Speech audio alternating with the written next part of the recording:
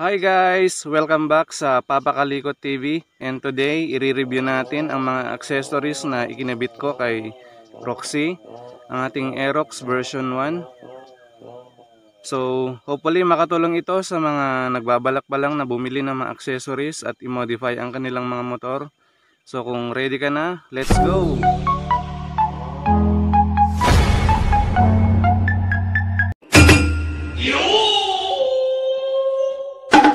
So mga kalikot, sa tingin ko relevant pa rin tong review na to kahit na meron ng bagong version ng Aerox, yung Y-Connect.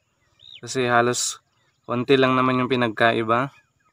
So ang re-review natin ngayon ay yung mga cones o yung disadvantages ng mga ikinabit na accessories dito.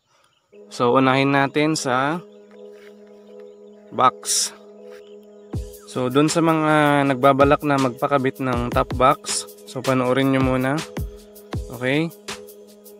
So, number one na cones ay kalampag.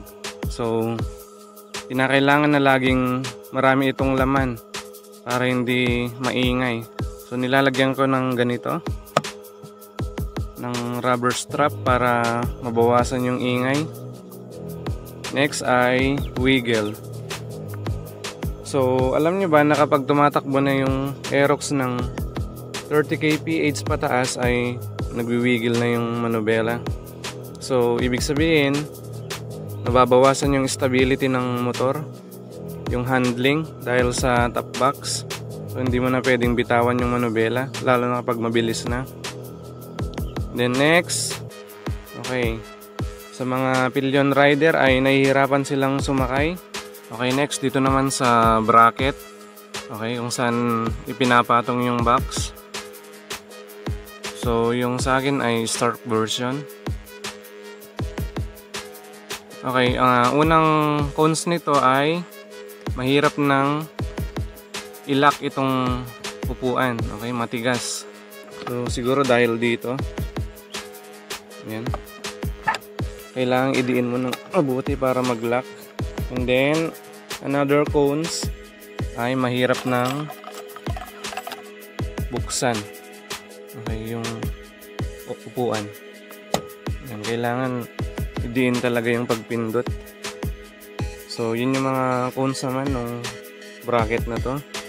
So hindi ko alam kung ano naman yung cones ng isang bracket na dito naman kinakabit yung pahaba na ganun. So kung meron kayong ganun at uh, ano yung napansin yung cones comment down below Okay, next sa uh, suspension naman na may sub-tank. Okay, uh, technically pang forma lang din naman to. Kasi yung performance ay halos walang pinagkaiba doon sa stock na suspension. Okay, kasi budget meal lang to eh. Pero kung gusto nyo talaga nung malambot, yung high performance, uh, bumili kayo ng branded talaga. Susunod ay yung decals o yung stickers. So nagpakabit tayo sa mugs. So ito yung cones. Wala pang isang taon ay nagtutuklapan na. So kailangan mo na namang magpakabit ulit. Na medyo may kamahalan din. Okay. Next ay sa slider. So ganyan na yung itsura ng slider ko. Nawawala na yung parang dalawang axle cap na nandito. Hindi ko alam kung pinitik o kusang nalaglag. So, ayun yung cones. Madaling matanggal yung parang axle cap na nandito. So, lagi nyong i-check bago kayo bumiyahe. Next ay sa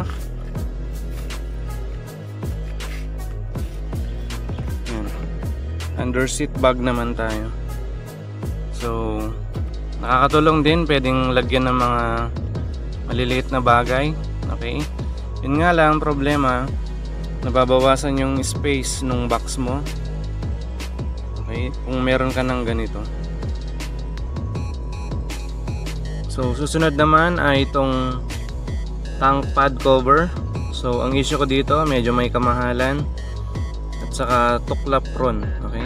Madali lang itong tuklapin next itong panel cover So black kasi yung naikabit ko. Kaya kapag ganitong oras, tanghali na, mataas yung araw, ay hindi mo na maaninag yung panel mo. So sa gabi lang ito na-enjoy. Okay, next. Itong cellphone holder natin. So ah, ito yung iwasan yung bilhin, yung universal. Bili na lang kayo ng mga may brand, brand name. Okay, universal lang kasi ito. So ang issue nito, kalampag.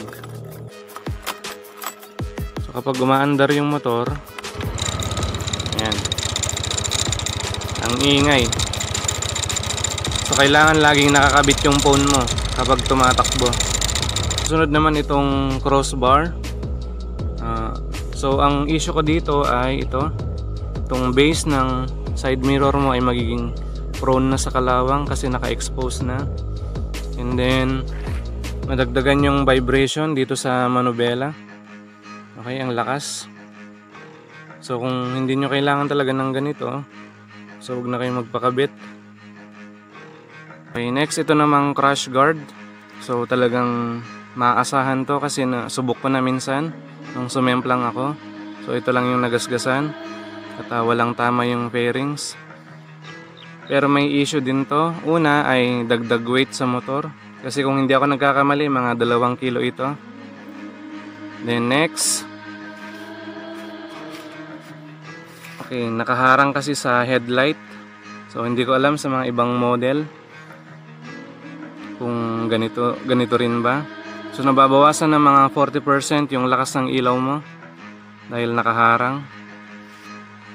And then yung isa pang issue ay itong box ng USB port. So naharangan dito kaya mahirap mahirap ilagay yung USB charger. Ayan. Okay, next ito namang axle cap niya at saka itong brake cover.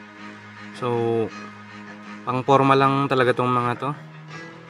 Okay, hindi naman talaga nakakatulong sa motor. Dagdag forma lang. Next itong fender extension. So kung mapapansin nyo, pudpud na. Okay kasi tumatama dito sa cover niya sa baba. So kapag malubak yung daan talagang kumakalampag. So balak ko nang tanggalin to kasi hindi natag-ulan. Nakakatulong din ito sa maputik na daan. Pero yun nga lang, kumakalampag yung motor mo. Kasi flexible tong fender niya sa likod. Kaya naglalaro ng ganun. Okay, sunod tong LED lights niya. Ayan, mini driving lights. So, dalawang beses akong nagka-problema dito kasi hindi umiilaw. So, nagka-problema sa wirings. So, ang issue dito, nakasalalay dito ang buhay ng motor mo. Lalo na kung hindi naman talaga marunong yung mga nagkakabit. Kasi pwedeng masunog yung motor mo. Okay, so dalawang beses ko nang pinaayos. At um, okay naman na ngayon. Sunod naman tong action camera. Uh, isa ito sa pinakamurang action cam na mabibili. Kaya syempre ang quality ay hindi ganun ka ganda. So halos black and white lang yung kuha ng camera. Pero at least meron ka ng eyewitness sa daan. Okay. Next itong handle grip. So ang nabili ko kasi ay medyo spiky. So masakit sa kamay. Kaya kailangan lagi kang naka-gloves. So sunod naman itong kanyang handguard. Okay. So ang issue ko lang dito ay masyadong mahal. So napakaliit pero halos kapresyo niya yung top box. Okay, so ito yun lang yung issue ko dito. Then sunod yung bottle holder. Ayan, ang problema ay medyo tumatama sa paa. Lalo na kapag bankingan na. Tumatama yung tuhod mo dito. Then next itong toolbox okay modified toolbox ang problema wala siyang lock pwedeng buksan lang ng ganito. Okay. Okay guys, panghuli yung kanyang horn. Dalawang buwan pa lang, sira na yung relay. Tapos nung pinaayos ko, dalawang linggo lang ang nakakaraan, ganito na yung tunog.